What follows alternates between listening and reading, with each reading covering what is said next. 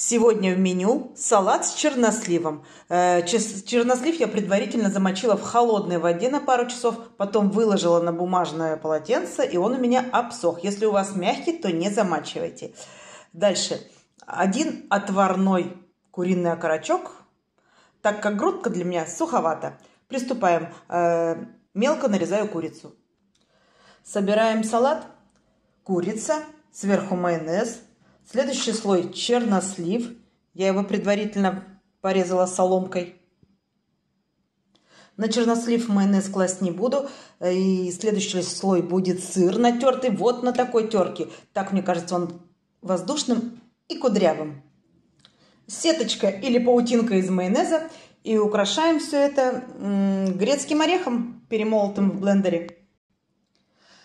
Салат готов. У этого салата много разных интерпретаций. Но сегодня у меня такой. Приятного аппетита! Готовьте с удовольствием!